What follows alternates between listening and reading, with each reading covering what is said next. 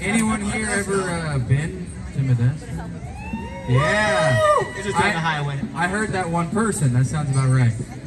Now there's two here.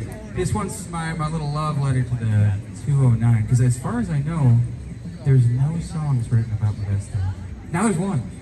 All right.